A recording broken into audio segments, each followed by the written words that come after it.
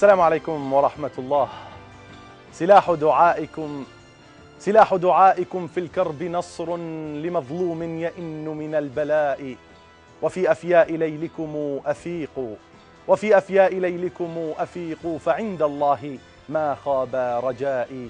هيهلا بكم معنا أحبائنا المشاهدين حيثما كنتم بسلامنا العاصف من تركيا. نبرق إليكم حيثما كنتم ونبدأ معكم جولة جديدة في فضاء برنامجكم اليومي الألوان السبعة فحيهلا بكم معنا.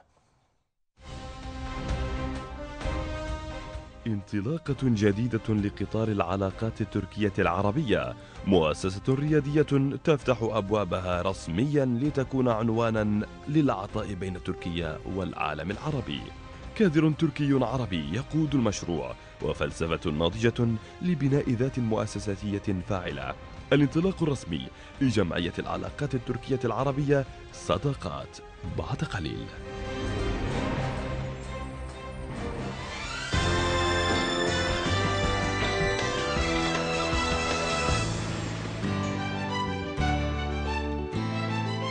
السوق المصري المصقوف في قلب اسطنبول التاريخية.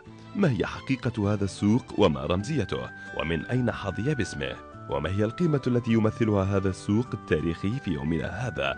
الكرم والسياحة والثقافة التركية العربية في رحاب السوق المصري باسطنبول. بعد قليل في الألوان السبع. لا يكفي أن تتحقق السياسة. بل لا بد أن ترفد السياسة بالعمل المؤسساتي والشعبي. فضاءات العطاء ما بين الشعوب لا يمكن للساسة إلا أن تفتح لها الأبواب فقط. أما طبيعة العلاقات وتعزيزها فتحتاج إلى جهد مؤسساتي إبداعي على مستوى النخب المفكرة والمثقفين وأيضا على صعيد مؤسسات المجتمع المدني. في تركيا أعلن مؤخرا عن افتتاح مؤسسة رسمية تركية عربية حملت اسم صداقات. هذه المؤسسة يراد لها بكادرها المنوع ما بين الطاقم التركي والعربي أن تكون مفتاحا جديدا للعمل المشترك ما بين تركيا وسائر أرجاء العالم العربي تحقيق للمنافع المتبادلة وفهم شمولي للتاريخ والواقع وقراءة استشرافية للمستقبل. مركز صداقات أو المركز التركي العربي للعلاقات. يسعدنا أن نستضيف عضو الهيئة التأسيسية فيه الأستاذ عبد الوهاب إكنجي. أهلا وسهلا بك معنا أستاذنا في برنامج الألوان. أهلا السبعة وسهلا بكم. بارك الله فيكم إن شاء الله. اسمح لنا أستاذنا الكريم بداية أن نحمل المشاهدين الأكارم إلى حفل الافتتاح الرسمي لمركز العلاقات العربية التركية المعروف اختصارا باسم صداقات. في حفل رسمي بهيج تم الإعلان في تركيا عن انطلاقة مؤسسة ريادية عربية تركية مشتركة لتكون أحد أبرز مؤسسات العطاء التبادلي بين تركيا والعالم العربي بالتخصصية والفهم التبادلي المشترك المبني على الرؤية الواضحة والعمل الناضج. إليكم. يا من تفتحت أزهار هذا المركز بحضوركم. إليكم. يا من أورقت هذه الثمار بحضوركم الكريم. يبقى الآن مشروع تواصل الهمة. أن نفتتح صدورنا لمشروع تبادلي بالعطاء الإبداعي مع مركز العلاقات مركز العلاقات العربية التركية الذي يشار إليه باختصار باسم صداقات أعلن عن يوم ميلاده وسط حضور واضح من ممثلي العديد من المؤسسات الرسمية والحزبية والمؤسساتية الفاعلة. في تركيا كناية عن عظم الدور المنتظر من هذا المركز ليؤسس لطبيعة فهم مشترك جديد بين تركيا والعالم العربي. المشاركون في حفل الافتتاح أكدوا على دعمهم للمركز وتأكيدهم على الحرص التركي على بناء علاقات تركية متينة مع العالم العربي. وقد كان حضور العديد من ممثلي بلديات اسطنبول وتياراتها السياسية والفكرية والنخب الإعلامية دور واضح في إضفاء روح جمالية على المركز وإعطاء العاملين فيه حافزا نفسيا على الاستمرار والإبداع في المسار التوافقي المنتظر من العمل في هذا المركز بكل مجالات العمل المدرجة في أجندته. هذه المشروعات تعتبر حالة من الوعي الحقيقي بمتطلبات الواقع وأن تأتي متأخرة خير من أن لا تأتي. فوجود مثل هذه المؤسسات على المستوى الشعبي والنخبوي في العالم العربي وتركيا هو صمام الأمان الفعلي لعلاقات تركية عربية تقوم على المتانة الحقيقية في العلاقة بعيدا عن دنيا السياسة المتقلبة وما يجمعنا من عوامل التاريخ والدين والثقافة والمصير المشترك يحتاج إلى هذا النوع من العمل الإبداعي.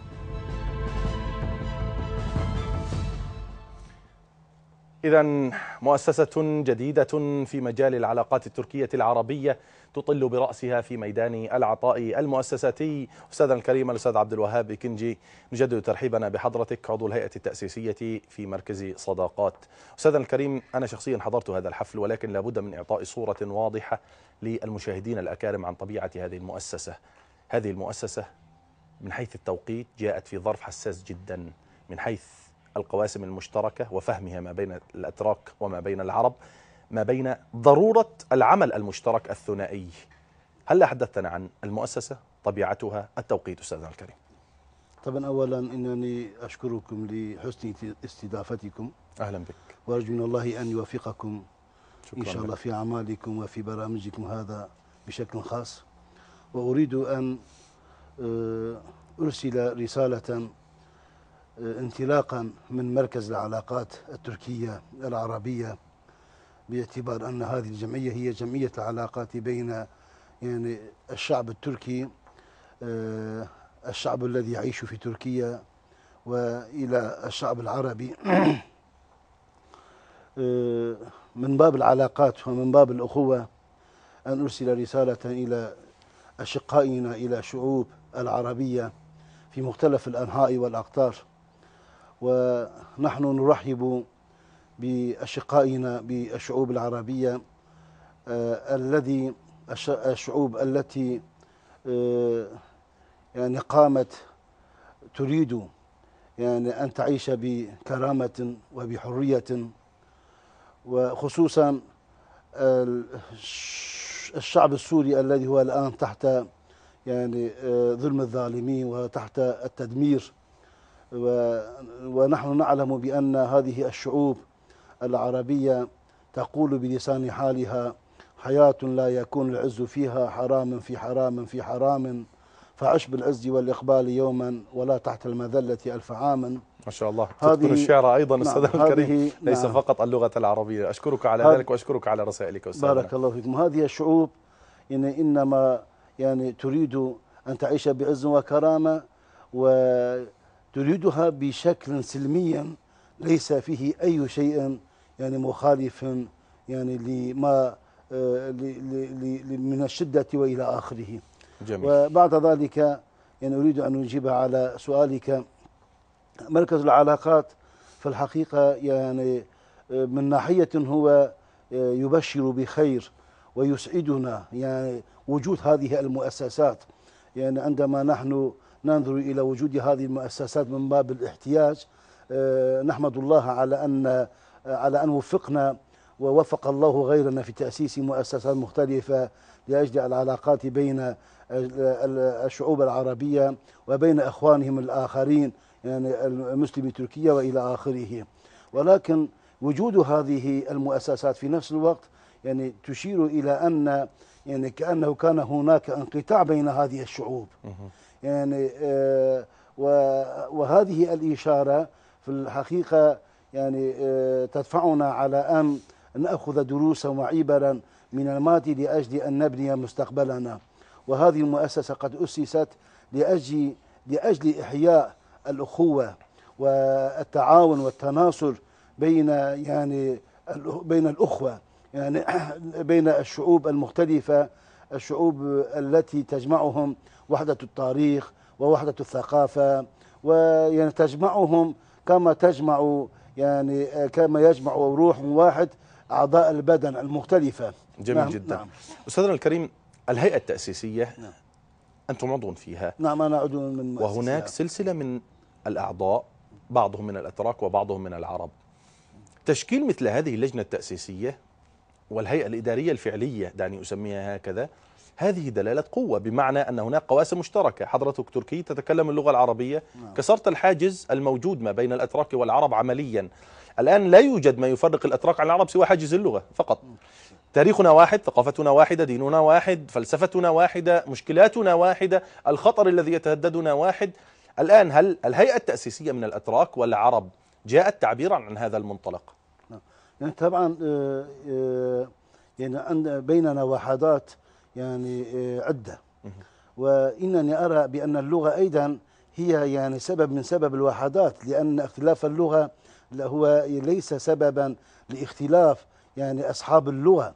لأن الله تعالى يقول في كتابه يا أيها الناس إنا خلقناكم إن إنا خلقناكم من ذكر وأنثى وجعلناكم وجعلناكم شعوبا. وقبائل لتعارفوا. يعني إذا يعني آه، اختلاف اللغة. واختلاف الأجناس والأشكال والألوان وإن وإن صعدت سبعة ووصلت إلى سبعين لون. يعني كلها يعني آه، هي علامات هي أسباب لأسباب العلاقات بين بين بين المجتمع الإنساني. وطبعا بين المجتمع الإنساني نقول لأن الله تعالى عندما يخاطب يخاطب يعني بقوله يا أيها الناس. وبهذا النداء يعني يشير ويدفعنا إلى أن نعلم بأن يوجد بيننا قاسم مشترك وهو قاسم إنساني صحيح. ولكن مع من ذكر ذلك وأنثى. ومع- من ذكر وأنثى. الإنسانية والبشرية. إنساني وفي نفس الوقت يعني وحدة الأبوة ووحدة الأموة ومع ذلك نحن يعني عندما نقول العرب ونقول الأتراك يتبادر إلى أذهاننا آه، آه، الدين الواحد الكتاب الواحد القبلة الواحدة. يعني مع وجود قواسم مشتركة إنسانية عالمية عندنا هناك قواسم خاصة بنا. وهذه القواسم التي أنا أشرت إليها من باب الأخوة الإسلامية يعني تجعلنا كمثل الجسد الواحد. يعني كمثل الجسد الواحد وهذا التمثيل آه، آه، النبي صلى الله عليه وسلم مثلنا بقوله مثل المؤمنين في توادهم وتراحمهم وتعاطفهم كمثل الجسد الواحد. إذا اشتكى من عضو تداعى له سائر الجسد بالسهر والحمى. ومركز العلاقات التركية الحمد لله يعني بفضل الله وبعونه. يعني قد حققت وقد خطوت بعض الخطوات الناجحة في هذا الموضوع بأن جمعت بين يعني آه، آه، الأتراك وبين الأخوة العرب. ومن مختلف الأقطار ليس من قطر واحد. جميل جدا. وحتى في تركيا. وهناك تفرع وحتى أيضا وهناك أيضا تفرع عفوا للمقاطعة ولكن نعم. يعني هناك تفرع. يعني من خلال الكلمات التي تم إلقاؤها وأنا هنا أشكركم على دعوتي للمشاركة فيها. كان هناك مجموعة من النساء كان هناك قسم خاص للنساء مجموعة خاصة بالشباب. وهناك يعني الأستاذ مصطفى كان مسؤولا عن قطاع الشباب وهو أصلا مدير مؤسسة المفكرين الأتراك واستضفناه في البرنامج هنا. بالتالي المكونات متعددة. هناك قطاع تعليمي عندكم هناك قطاع فلسفي هناك قطاع مرأة هناك قطاع للعمل المؤسساتي. يعني هناك تنوع في العمل. هل هذا التنوع مدروس أم جاء صدفة معكم؟ لا هذا التنوع مدروس وهذا التنوع شيء طبيعي. يعني كتنوع الإنسان مع أعضائه فإن نحن اختصرنا على نوع واحد أي على عضو واحد من البدن إذا لا يمكن أن يتحرك أو أن تظهر الروح وجودها يعني صدق. اختصارنا على لجنة من اللجان كاختصارنا على عين وإهمالنا للأذن وال- واليد والرجل وإلى آخره من الأعضاء التي يتركب منها الإنسان يعني هذه القطاعات وهذه اللجان في نفس الوقت كل واحد منها تمثل ما يمثله أعضاء البدن. جميل. في نفس الاحتفال الخاص بالانطلاق أستاذنا الكريم يعني هناك أمور لافتة حقيقة تبشر بأن هذا المركز يمكن أن يعول عليه في تحقيق جسور من العلاقة الفعلية ما بين تركيا والعالم العربي على المستوى المؤسساتي على المستوى الشعبي. يعني حضور العديد من التيارات السياسية ممثلي الإعلام ممثلي مؤسسات المجتمع المدني العديد من رؤساء البلديات إما حضروا وإما ألقوا رسائل تواصل مع هذا هذا المركز. هل هي مؤشرات على احتضان المجتمع التركي لفكرة مثل هذه المؤسسات؟ يعني الحمد لله هي مبشرة لا على الاحتضان المستقبلي هو يبشر يبشر يعني بأن هذا الاحتضان هو قد حصل. يعني وجود هذه هذه المؤسسة دليل على وجود ما نحن نراه لازما وما نحتاجه يعني بأشد الاحتياج. وهذه المؤسسة عندما نحن كوناها لم نقتصر على تيار أو على يعني على على قسم من الأقسام. يعني لأنها من المفروض أن يكون الاسم مطابقا للمسمى العلاقات. إذا معنى ذلك عليك أن تؤسس وتنفذ العلاقة بين مختلف الناس حتى أن تأتي بمضمون الاسم. جميل. ونحن عندما بدأنا بالعمل في أول الخطوة بدأنا بتنفيذ ما نحن نريده. يعني هل هذه المؤسسة ست- ستنفذ أهدافها؟ أنا بحمد الله يمكن أن أقول قد بدأت بالتنفيذ. لا ستنفذ أو سوف تنفذ. جميل يعني جدا. تأسيسها تنفيذ وتجميعها لمختلف الجهات. يعني التي تجمعهم وحدة الإيمان ووحدة الوحدة الإنسانية ووحدة الأصل ووحدة الإيمان. يعني آه، هذه المؤسسة قد جمعتهم. ومع مختلف الأقطار جميل يعني جدا. الأقطار هنا التي لابد أن نشير اسمح لي هنا أن أقاطعك استاذنا الكريم إلى المشاهدين الأكارم بالتنوع الفعلي الموجود يعني الهيئة الإدارية والهيئة التأسيسية والعاملين فيها يعني يمثلون العديد من شرائح المجتمع التركي على على مستوى المؤسسات والتيارات السياسية وغيرها ولكن أيضا على المستوى العربي هناك يعني الأستاذ فتحي يعني مدير هذا المركز وهو من تونس وهناك مجموعة إخوة من اليمن ومن غيرها ومن سوريا ومن فلسطين. نعم. نحن نتحدث عن تكامل من حيث الش- الشكل والجوهر كما يقال. طبعا. يعني وهذه المؤسسة طبعا يعني العمل المؤسسي يعني عمل نحن يعني بحاجة إليه. صحيح. باعتبار لا مجال للفرد اليوم. باعتبار نحن يعني بشر من البشر. الاجتماعيون كأبن خلدون وهو أستاذ الاجتماعيين يعني في هذا العلم يقولهم إيه، اجتمع الحكماء على أن الإنسان مدني بالطبع. صحيح. وكون الإنسان مدنيا بالطبع هو يعني من شأنه أن يفيد ويستفيد. فإن اقتصر على الإفادة إذا لا يفي بهويته الإنسانية. وإن اقتصر يعني على الاستفادة فقط أيضا يكون ناقصا. لذلك يعني الع- العمل الاجتماعي يلزم أن يكون عملا مؤسسيا. وهذه الأعمال خصوصا هذه المؤسسات يعني وجودها لأجل امتلاء الفراغ الذي قد أوجده المستعمرون بين يعني بين المسلمين آه، بشكل عام. لأننا نعلم يعني آه، بأن الرسول قد مثلنا ب آه، قد مثلنا بمثال الجسد الواحد. وهناك آيات يعني آه، تدل وتشير صراحة على أننا إخوة. ووجود الحواجز بين أعضاء البدن كيف آه، كما هو لا يكون يعني شيئا مرغوبا ويكون يعني عارا لوجود ويكون عارا وجود الحواجز بين أعضاء البدن. وجود الحواجز بين المسلمين يعني بشكل عام وخصوصا بين الأتراك والعرب هذا أيضا عار. ولكن هذا العار من أوجده؟ أوجده من حتم الخلافة العثمانية.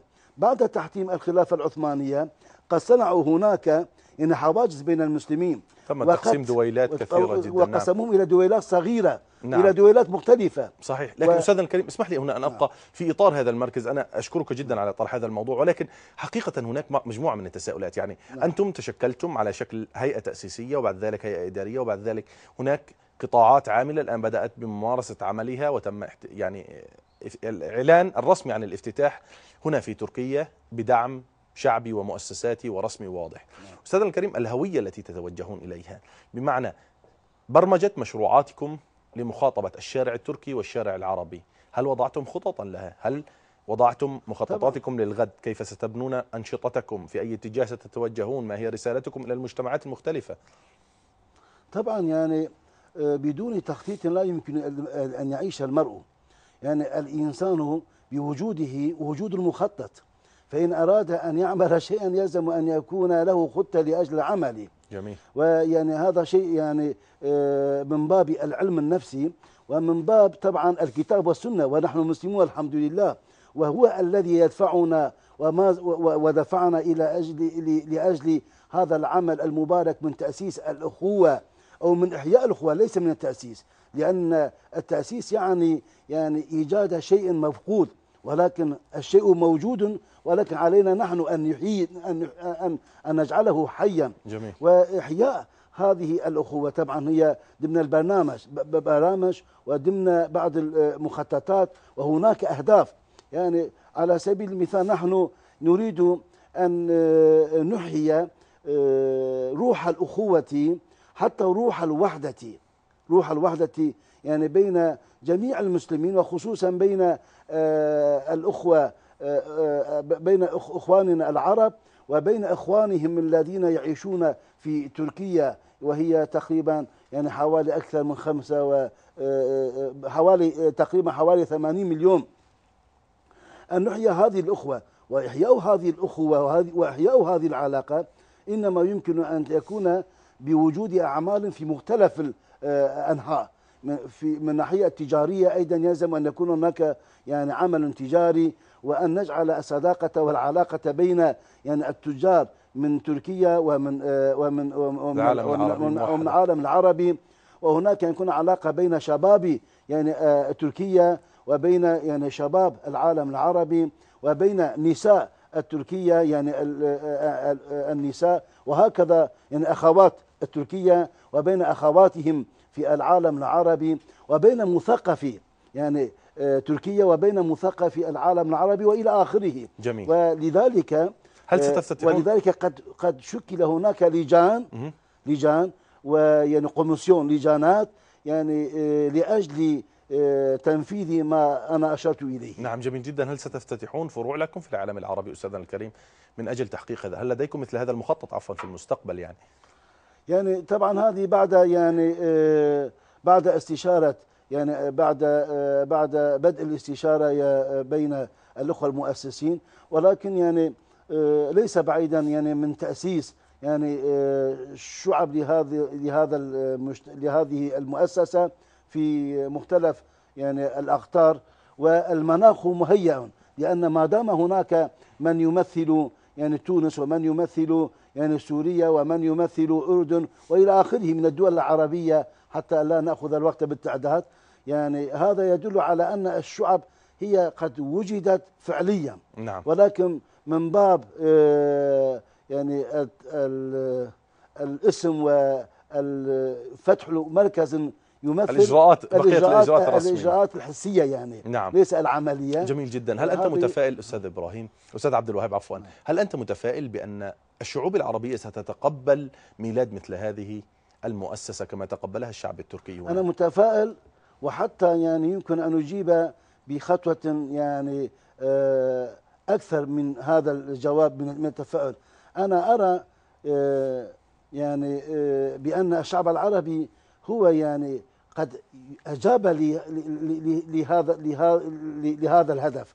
وهو يعني معنا يعني في تحقيق هذه الأهداف. والدليل على ذلك الربيع العربي الذي يسمونه بالربيع العربي الذي نحن آه، نشاهده في آه، في الدول العربية وهذا الربيع وأنا أقول هو ربيع إسلامي في نفس الوقت وهذا الربيع الربيع العربي هو يعني دليل على تجاوب العرب لهذا الطرح ولهذا العمل. إذا فلسفة مشتركة نعم. لا مجال لحياة الفرد في هذا المجتمع حتى وإن كان مبدعا لا بد من صياغة عمل مؤسساتي ناضج يمكن أن يحمل الهموم والتطلعات أستاذنا الكريم اليوم تركيا على المستوى السياسي أعلنت عن سلسلة من الخطوات الانفتاحية واليوم أنتم بالعمل المؤسساتي تؤسسون لعلاقات شعبية أبعد من المستوى السياسي نعم. اليوم هناك أزمات في العالم العربي هل تنمون التعامل مع هذا الطرح. بمعنى هل تنوون تأسيس جيل يفهم ما معنى العلاقة التركية العربية من خلال أجندتكم في الخطاب العام؟ لو آه، اختصرت بالسؤال. نعم. هل تنوون تأسيس جيل؟ التواصل مع الشرائح في المجتمع التركي والعربي لتأسيس جيل يفهم ضرورة العلاقة التركية العربية في المستقبل. بدون شك بدون شك. وحتى يعني أنا أيضا يعني عندي يعني آه، أنا متفائل يعني إلى حد بأنني أرى ما أتفائله يعني الآن في الساحة. يعني نحن بدل أن نقول نحن عندنا خطة لأجل ذلك ومتفائلون لأجل هذا نحن نقول في الحقيقة علينا نحن أن نهيئ أنفسنا لاحتضان هذا الجيل. لأن هذا الجيل بدأ وجوده والحمد لله كل يوم هو في ازدياد. يعني نحن الآن عن عن غنى لأجل يعني لأجل إيجاد جيل يعني يتفا يجي يتعامل يعني آه، مع آه، إخوانه في مختلف الأقطار وبمختلف الجنسيات. الجيل هو بدأ موجودا ولكن علينا نحن أن نرحب به وأن نحاضنه وأن وأن وأن يعني نغذيه ب يعني بتجاربنا وب يعني وبفلسفات يعني وبأفكار صحيحة حتى أن يعني ينمو وإن شاء الله يعني ينضج نعم. الأستاذ عبد الوهاب إكنجي عضو الهيئة التأسيسية في مركز العلاقات التركية العربية. صداقات. نشكركم جدا على جهودكم ونتمنى لكم التوفيق عمليا في افتتاح مثل هذه المشاريع التبادلية سواء على الصعيد المعرفي أو على صعيد تبادل العطاء والخبرات ما بين تركيا والعالم العربي لأن ذلك احتياج ضروري. بتنا نلمسه على كلا الطرفين. نشكركم جدا على وجودكم معنا. وأحباء المشاهدين اسمحوا لنا أن ننتقل من نفس الموضوع إلى نفس الموضوع ولكن برسم كاريكاتوري.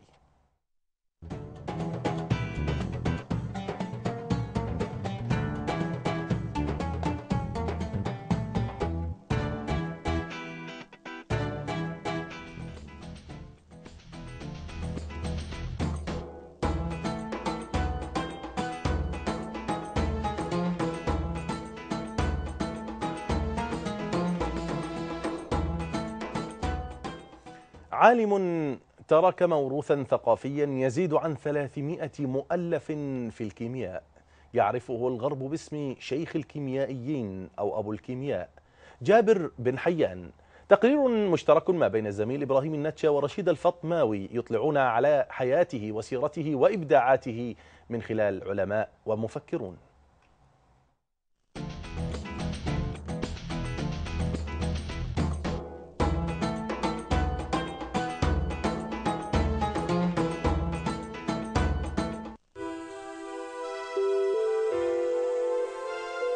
عالم كبير.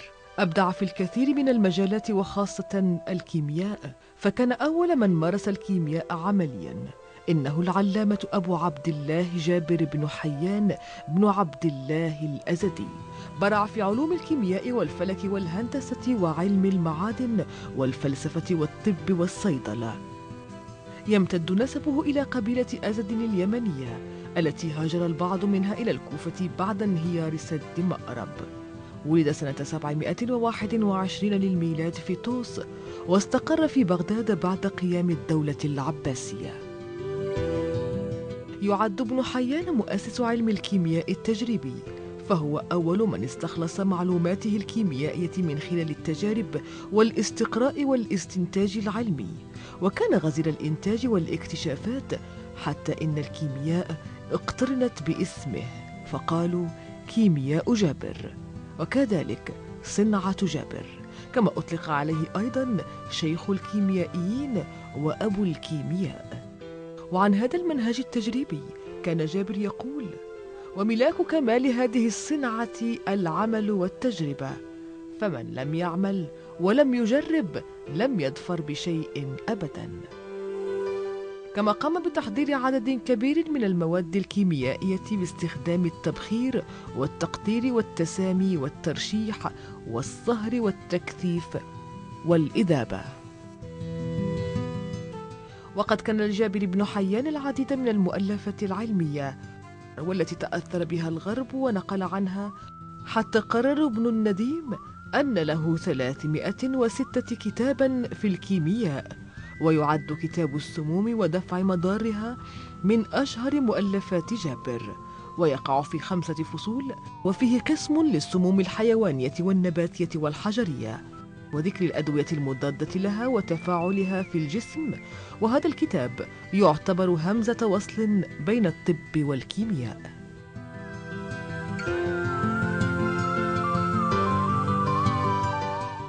بعد مشوار علمي طويل قطعه ابن حيان في علم الكيمياء خاصة والعلوم عامة. توفي وقد جاوز التسعين من عمره في الكوفة. سنة 813 للميلاد.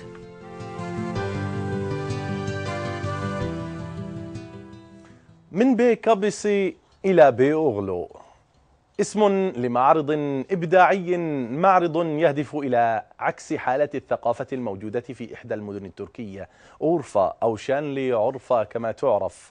مدينة تم تصويرها على شكل صور إبداعية من جمعية المصورين الفوتوغرافيين المحترفين.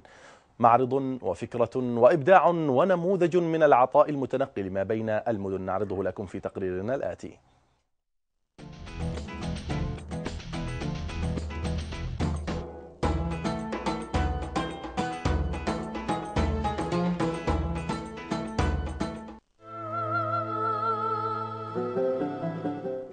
معرض صور أورفا من به قبص إلى بي أوغلو الوجه الذي عكس مدينة الأنبياء أي محافظة شانلي أورفا من عدسات أعضاء جمعية المصورين المحترفين واجتمع مع محبي الفن. كان هناك اهتمام كبير بالمعرض الذي تم افتتاحه في المعرض الفني لمركز الشباب التابع لبلدية بي أوغلو بإسطنبول. Amacımız 50-55 kare fotoğrafa sığdığı kadarıyla Urfa'yı İstanbul'da هدفنا أن نقدم إطارا يضم خمسين صورة لمنطقة أورفا من أجل التعريف بها إلى سكان إسطنبول. ونتوجه بالشكر إلى بلدية البيولو التي فتحت لنا أبواب مركز الشباب من أجل تحقيق مشروعنا. من مدراء ومسؤولين ومواطنين نشكرهم لمدهم يد العون. وتمكننا من تحقيق هذا المعرض إنه الأول بالنسبة لنا. Dediğim gibi yaklaşık 50 kareyle ancak وسبب افتتاح المعرض في مركز الشباب هو جمع الشباب بالتاريخ. محافظة أورفا من أقدم المواطن في العالم بتاريخها الممتد إلى ما قبل 12500 عام. ولا زالت حتى يومنا هذا تجذب الانتباه كمدينة للميراث الضائع في العالم. وهي نقطة مشتركة لثلاثة أديان سماوية ومدينة تعرض فيها أندر نماذج الميراث الحجري للعالم. وهي المدينة التي أنشئت فيها أول جامعة إسلامية من بين الجامعات بالعالم. هي مدينة يقع فيها جوبكلي تبة أقدم مسكن ومعبد في العالم ومسبب كتابة تاريخ الحضارة من جديد. مدينة تعيش فيها كل العقائد معا بمساجدها ومدارسها وأضرحتها ذات الأسقف المقببة وذات الأسقف المخروطية وأديرتها وكنائسها وكنوسها. Arkadaşlarla bir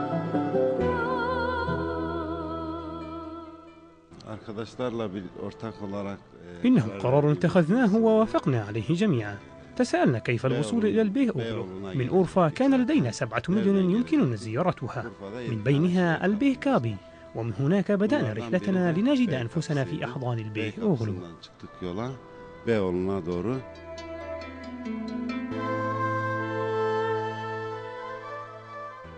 تعرض في المعرض صور المدينة القديمة.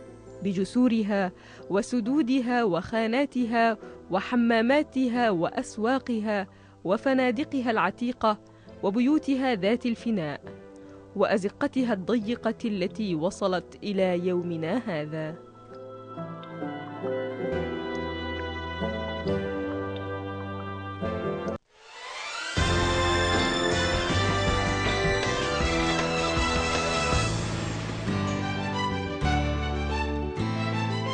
السوق المصري المسقوف في قلب اسطنبول التاريخية. ما هي حقيقة هذا السوق وما رمزيته؟ ومن أين حظي باسمه؟ وما هي القيمة التي يمثلها هذا السوق التاريخي في يومنا هذا؟ الكرم والسياحة والثقافة التركية العربية في رحاب السوق المصري باسطنبول. بعد قليل في الألوان السبع. وإلى فلسفة الثقافة الممتدة أيضا من خلال دنيا المعارض. الزجاج حاجة بشرية متنوعة احتياجات يومية تمتلئ بها البيوت ولكنه غدا مع الأيام فنا وعلما ابداعيا احترافيا. تلوينه وتشكيله وصياغته بنمط إبداعي معاصر بات سمة فارقة تقام لأجلها المعارض. دنيا المعارض والزميلة رشيدة الفطماوي وفن تشكيل الزجاج.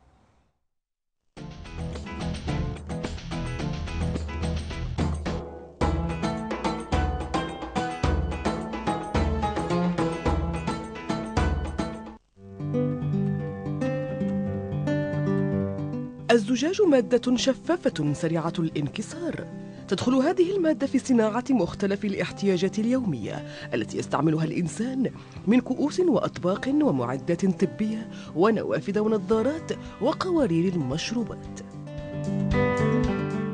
كان يا مكان في قديم الزمان وسالف العصر والأوان بحارة فينيقي أتى من رحلة من البحر المتوسط.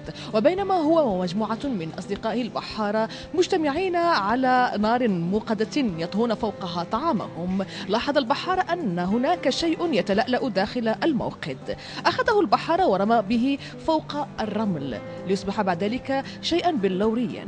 أخذ البحارة هذا الاكتشاف إلى قريته وأظهره إلى جميع سكان القرية وبذلك يبدأ تاريخ اكتشاف مادة الزجاج. يصنع الزجاج بطريقة التسخين إلى درجات الحرارة العالية حتى الحصول على الحالة العجينية للخليط. ومن ثم تتم عملية القولبة للعجين بحسب الشكل المراد الحصول عليه. وطبعا هناك العديد من العوامل التي يجب مراعاتها ولكن هذه هي الطريقة العامة. وباختصار يمكننا القول أن صانع الزجاج يقوم بخلط كمية كبيرة من الرمل مع كميات قليلة من الجير والصودا وغيرها من المواد ليعطي للزجاج بعض الخواص. ويمكن أن تتكون المكونات الأخرى من الألومنيوم وأكسيد الزرنيخ الأبيض. يتم تسخين هذا الخليط أو جزء منه في فرن حتى يصبح كتلة من السائل الكثيف اللزج. وعندما يبرد هذا المزيج يصبح زجاجا. تستعمل ملايين الأطنان من الرمل كل سنة لصنع الزجاج. ومع ذلك فإن هناك أنواعا خاصة من الزجاج تصنع دون أن يستعمل فيها الرمل مطلقا. نظرا للدور المهم الذي احتله الزجاج منذ اكتشافه إلى يومنا هذا. ينظم بنك العمل بإسطنبول معرضا للمقتنيات الزجاجية للتعريف بأهمية هذه المادة واحتكارها جميع الصناعات.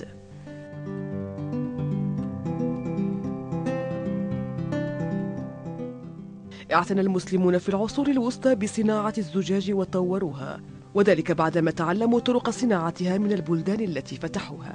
مثل مصر الشام العراق وإيران. وكان ذلك لحاجتهم إلى الأواني الزجاجية التي تستخدم في العطور والعقاقير والإنارة والشرب وغيرها. تمر صناعة الزجاج من مراحل عديدة وهي تعتبر مادة أساسية في حياة الإنسان منذ القدم إلى أيامنا. هذه تدخل صناعة الزجاج في صناعة الأدوات المنزلية وكذلك الأدوات الطبية إلى غير ذلك من الأشياء التي هي تعتبر جزءا لا يتجزأ من حياتنا اليومية. رشيد الفطماوي برنامج الألوان السبعة التركية. السوق المصري سوق التوابل التاريخي. اسم مميز لحالة من التاريخ والوعي والسياحة والثقافة الفردية والجمعية. سوق يمثل معلما بارزا من معالم إسطنبول. كثير ما يذهب إليه السياح مرة ومرتين حتى أثناء الزيارة الواحدة إلى تركيا. السوق المصري عنصر جذب بهويته بتاريخه وأيضا بالمتعة أثناء التسوق فيه لما فيه من خصائص ومميزات. السوق المصري بدلالاته محورنا الثاني لهذا المساء أحبائنا المشاهدين ويسعدنا أن نستضيف رئيس الهيئة الإدارية لجمعية الباعة في السوق المصري الأستاذ تشيتين بالانجي أهلا وسهلا بك معنا أستاذنا في برنامج الألوان السبعة. السلام. شكرا جزيلا. أحبائنا المشاهدين اسمحوا لنا في البداية أن نعرفكم بالسوق المصري. معلم مميز كرم الضيافة وأصالة التاريخ المنبثقة من رحم الزمان. نتابعه سويا ثم نعود لحوار ضيفنا الكريم. سوق التوابل المصري التاريخي واحد من محطات الاهتمام البالغ في المواقع التركية البارزة ولا يمكن أن يمر سائح أجنبي إلا ويزوره. كما أن الحال في السوق المغطى يربط البابان الأساسيان لسوق التوابل المصري بين أمينون وسلطان حمام. هو سوق عملاق اجتمعت فيه النباتات المجففة وآلاف البهارات التي كانت دواء لكل داء على مر التاريخ. بينما بدأ العالم مجددا بالتوجه إلى المنتجات الطبيعية الأناضول الذي أنشأ أطباء لقمان أطباء الطب البديل يوزع قوة النباتات الشافية عبر سوق التوابل المصري منذ مئات السنين.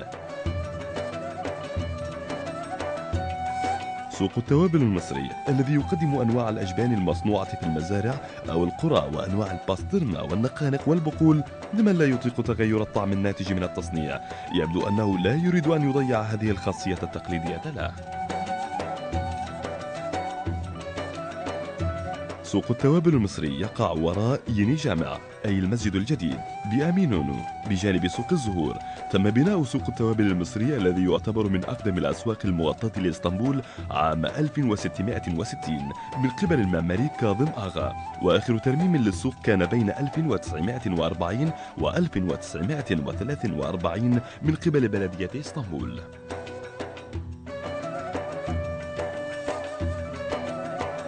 تباع حاليا في هذا السوق المشهور بعطارية المنتجات المطابقة بتقاليدها القديمة مثل الأدوية الطبيعية والتوابل وبذور الزهور وجذور وقشور نباتات نادرة بالإضافة إلى المكسرات ومنتجات اللحوم وشتى أنواع الأغذية. سوق التوابل المصري الذي يجد اهتماما بالغا من محبي التسوق والسواح يفتح كل أيام الأسبوع ويغلق يوم الأحد فقط. ومعنا الأستاذ تشيتن بالانجي رئيس الهيئة الإدارية لجمعية حرفيي وتجار السوق المصري. أهلا وسهلا بك معنا أستاذنا الكريم في برنامج الألوان السبعة مرة أخرى. أستاذنا الكريم شكرا جزيلا. ما هو السوق المصري ولماذا حمل هذا الاسم؟ نعم قبل قليل ذكرتم أن سوق مصر يفتح يوم الأحد. نعم هو يفتح دائما يوم الأحد. لا يغلق كما ورد في التقرير. جميل نشكرك وقد بدأ بناء السوق في العهد البيزنطي عن طريق البنادقة وتجار البندقية الذين كانوا يأتون من شمال إيطاليا إلى القسطنطينية. وقد شب حريق هائل في ذلك السوق. ثم احترق مرة أخرى في العهد العثماني. وقد قام بترميمه أحد البشوات في القرن السابع عشر وما زال يستخدم إلى الآن. وبابنا مفتوح إلى كافة الزبائن من الأتراك والأجانب. الجانب في في سبعة أيام من الأسبوع. عندنا كثير من المنتجات من التوابل والعطور والمواد الغذائية والجامع الجديد المقابل للسوق يستفيد من ريع هذا السوق لأن السوق كان وقفا للجامع وما زال كذلك وأنا رئيس الجامع لماذا سمي بالسوق المصري مصر تشارشي؟ لماذا سمي؟ مصر'dan gelen baharatlar لقد سمي بهذا الاسم جميل. لأنه يباع فيه توابل وبهارات نعم. تأتي من مصر. اليوم عندما نتحدث عن السوق المصري بدكاكينه أو محلاته التاريخية وهنا أستخدم لفظ الدكان القديم لأنه لفظ مشترك ما بين تركيا وما بين العالم العربي. هذا السوق المميز تاريخيا. هذا السوق المميز بما يحتويه من أجبان ولحوم وبهارات متنوعة وغيرها من وسائل الجذب. ما هي مميزاته برأيك؟ التاريخ أم الاحتفاظ بالأصالة الموجودة فيه؟ Şimdi tarih bir, التاريخ iki. هو ثقافة وهو rahmetli Özal. وكان رئيس تركيا السابق عندما يزور هذا السوق كان يستمتع كثيرا. وكذلك السياح الأجانب عندما يأتون إلى هذا السوق يقولون إن هذا السوق يتميز برائحته الخاصة رائحة التوابل والقرفة والزنجبيل وغيرها من التوابل ولذلك وبذلك اشتهر هذا السوق وهو من أشهر الأسواق التوابل في العالم. وهو مفتوح يوم الأحد. نعم. أستاذ الكريم منذ عام 1000 1660 تم إنشاء هذا السوق. آخر ترميم للسوق كان في عام 1943 على يد بلدية إسطنبول. نعم. سنة 42 43 هل يمكن لنا أن نتحدث عن احتفاظ هذا السوق بقيمته التاريخية؟ بأسلوب البيع التاريخي بالقيم التاريخية الموجودة عند الباعة نفسهم إكرام الضيوف مثلا. هل هذا متحقق اليوم بصورة واضحة لما يعطيه ميزة خاصة؟ İkram نعم zaman الإكرام. Biz موضوع لم ينتهي إلى الآن ونحن. الأمة التركية مشهورون بإكرام الضيف.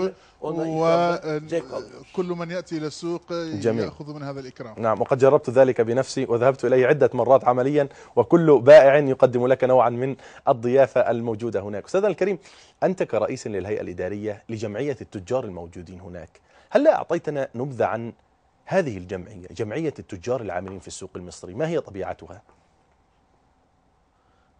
Gibi faaliyet? مثلا أي نشاطات تريدون؟ يعني مثلا ما هي طبيعة جمعيتكم؟ ماذا تفعلون في الجمعية؟ هل تقومون برعاية شؤون التجار بغيرها من الأنشطة؟ Daha evvel نعم آه، كان آه، لطفي كردار آه، çarşısı ve gıda رئيس بلدية إسطنبول كان kiracılara verdi. قد سلم هذا السوق. بالإيجار 35 40 لتجار التوابل بعدها تم تأجير دكاكينه. دكاكينه تجار السيارة والذهب.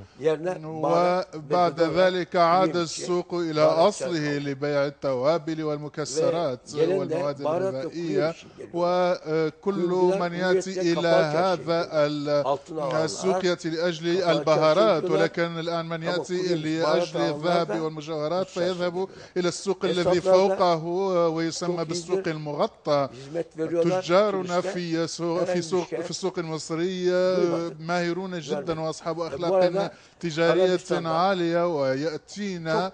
السياح بكثرة من Bu العالم sebebi de العربي وسبب ذلك هو أنه آه، رئيس حكومتنا آه،. قد آه، فتح تركيا على العالم العربي وقد آه،. جمع بين العالم التركي. والعربي لم نستطع أن نفعل ذلك منذ. آه، عقود طويلة عجزنا عن ذلك نحن. الأتراك وكذلك العرب ولكن الآن الفرصة السانحة ونحن نفتح آه،. أبوابنا وأذرعنا bir لإخوتنا العرب. وإن آه، devlet اشتكى. أي آه،. سائح عربي لك. من يعني- السوق فليأتيني ويقدم شكوى نعم أشكرك جدا حقيقة على هذه النقطة المهمة جدا ولا بد من الإشارة هنا إلى أن السوق المصري هو أحد الأماكن التي لا يتوه فيها السائح العربي كل مكان كل دكان كل مكان بيع فيه أحد العاملين العرب. والآن في تقرير خاص قبل أن نعود لاستكمال حديثنا مع ضيفنا الكريم نحملكم إلى السوق المصري مجددا لنطلعكم على محل محمد بالحاج وهو تاجر مغربي عاش في تركيا وأسس حياته التجارية فيها وافتتح مكانه الخاص في السوق المصري. الزميل رشيد الفطماوي زارته ووفتنا من هناك بالتقرير الآتي.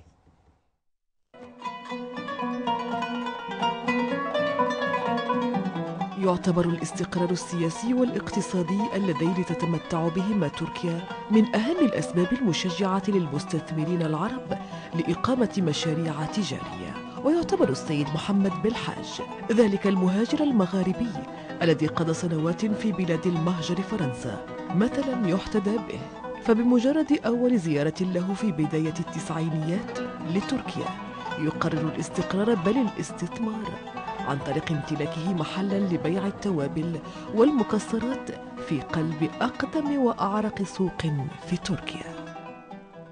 يقع السوق المصري قرب الجامع الجديد أو ما يعرف بالتركية الليني جامع. يذكر أن السلطانه خديجة هي التي أمرت ببنائه في بداية القرن السابع عشر. يطلق عليه السوق المصري لأن معظم التجار الأتراك كانوا يجلبون بضاعتهم من مصر. يعتبر هذا السوق حاليا قبلة للسياح الأجانب والعرب الذين يأتون من أجل اقتناء ما يحل لهم من أشهر المكسرات والتوابل والعسل.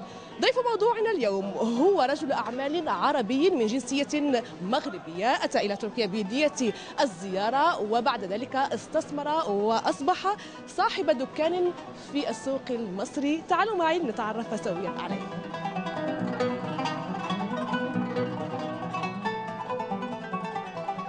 وهي البداية كأي بداية لأي أجنبي في بلد ديال الأجنبي تتكون صعبة. البداية ما تتكون سهلة تتكون صعبة شوية. ولكن كما تقول المثال من جد وجد. وهذا اللي طرا كان عندنا طموح كبير في واحد البلد اللي طرا الحب علينا اللي طرا الحب عليه. يبدو أن الاستثمار العقاري العربي في تركيا يرتفع طرديا مع مواقف تركيا السياسية الإيجابية في المنطقة. فبعد فترة كان فيها هذا الاستثمار مرتبطا بنجاح المسلسلات التركية. فقد عاد الاهتمام بتركيا عقاريا واستثماريا من باب السياسة.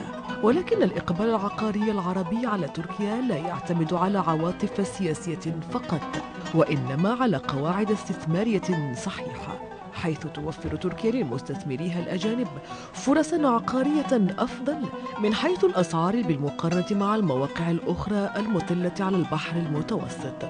بالإضافة إلى عوائد إيجارية تصل إلى نحو 5.4% وتعد ضمن الأعلى في أسواق اليوم. بالنسبة لنا نتكلموا على المحل ديالي بالنسبة لهذا المحل عندنا صنع تركي. وفيه مواد من المغرب تجي من المغرب كم كم البهارات. راس الحانوت راس الحانوت مشهور عندنا. بسي ساق عقل. هذه الناس ديال المغرب غيعرفوها مزيان. وهادو السبب ديال آه، اجتلابها لتركيا باش يتعرفوا عليها الشعب التركي. يوجد في السوق المغطى حوالي 140 محلا وله ستة مداخل. وملحق به من الناحية الجنوبية سوق للأزهار وآخر للحوم والفواكه والخضروات وسوق صغير للحيوانات والطيور وللسوق 18 بابا ويحتوي على المنتجات التركية التقليدية مثل السجاد والنحاسيات والأعمال الزجاجية وذات الزخرفة الإسلامية والمصنوعات الجلدية والمصوغات الذهبية والفضية والخزفية وكذلك التحف الشرقية والأثرية والمشغولات اليدوية والحلي التقليدي.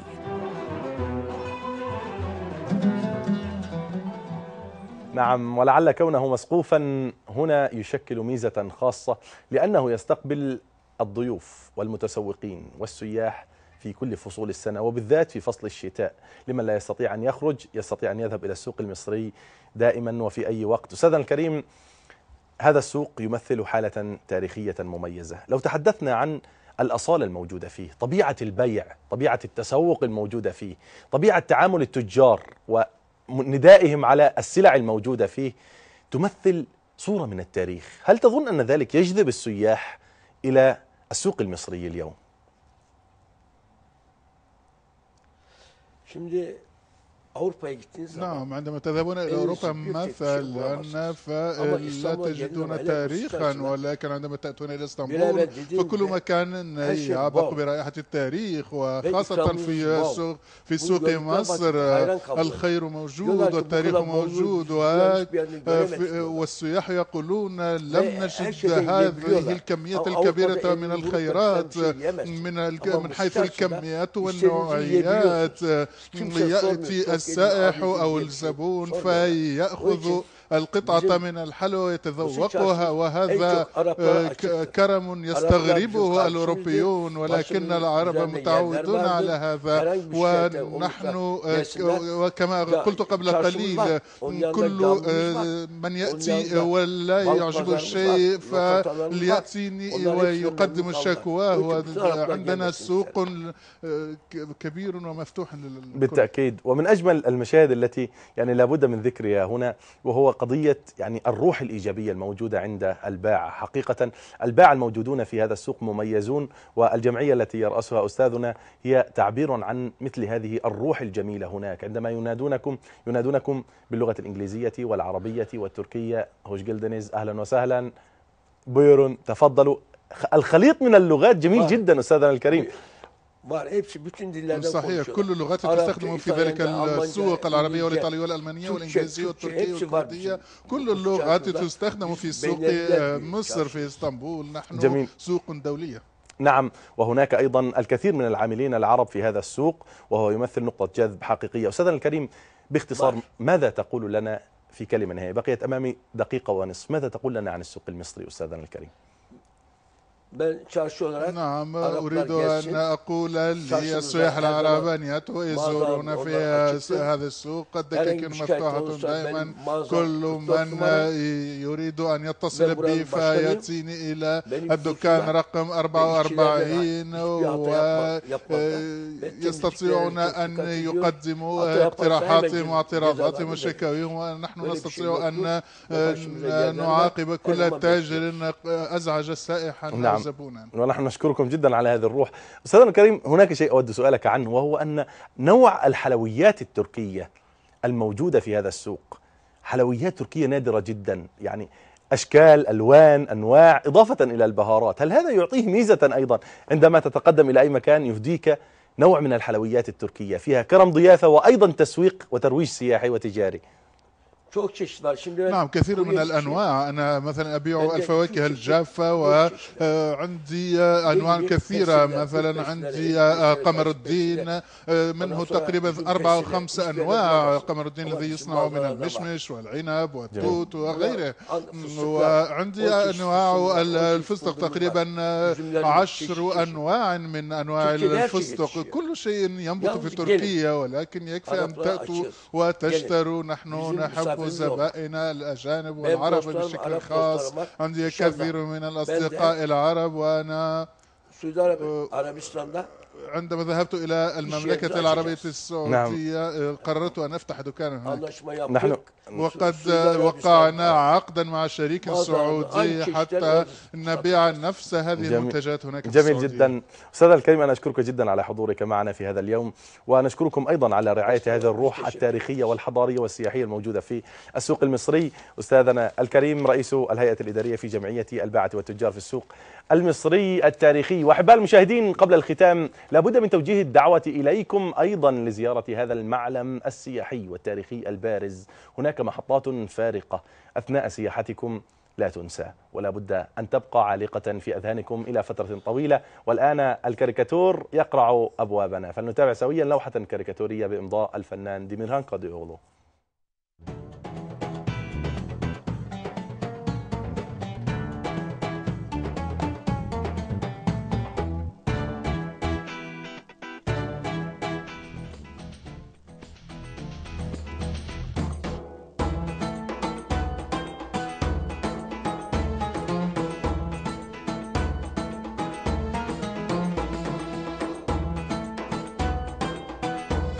بعيد سويعة بعيد سويعة في الوصل إني لأدعو الله حفظا للغوالي.